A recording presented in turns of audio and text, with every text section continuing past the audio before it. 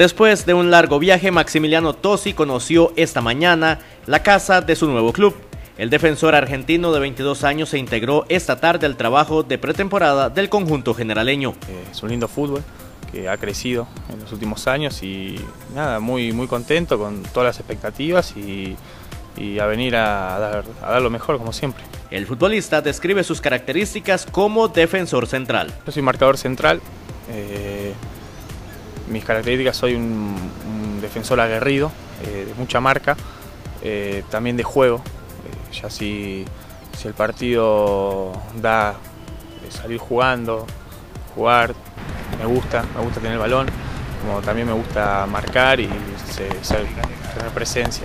Costa Rica se convierte en su tercera experiencia internacional. Yo inicié mis inferiores, hice en Gimnasia de Grima La Plata, es el club de mi ciudad, eh, hice hasta la quinta división.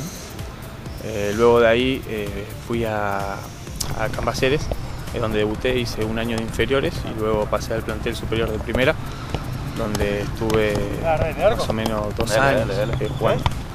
y después de ahí me fui para Brasil, que estuve estos seis meses en Brasil.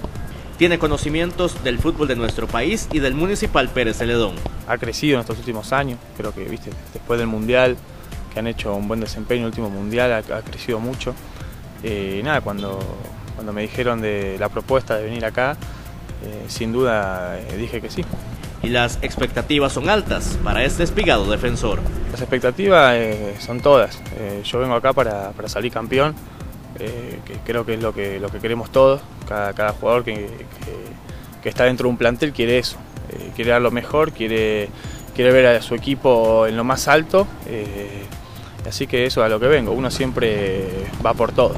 Dosi es el primero de los cuatro refuerzos extranjeros que se integran al equipo generaleño.